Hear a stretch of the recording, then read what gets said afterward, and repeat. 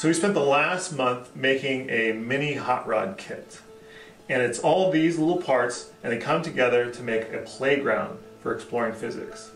At the heart of it is the mini hot rod, where we can put a Pocket Lab Voyager so that you can measure the motion of this as it moves along the track, collides into things, gets launched by a pulley, and the goal with everything that we do is to make physics more accessible and fun for a student and a teacher to do. So the kit includes parts that interface together. So we have a cart that Lab Voyager can plug into, and this moves along a Hot Wheels track.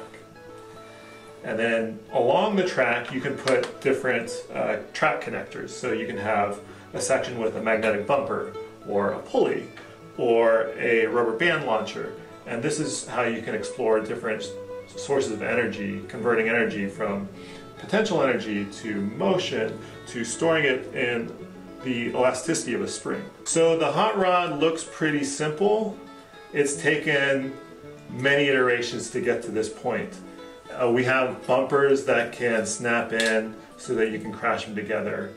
And it's just this process of figuring out how do we make physics more fun and interesting and accessible for a fourth grade student or even a 12th grade student who's doing an AP level course.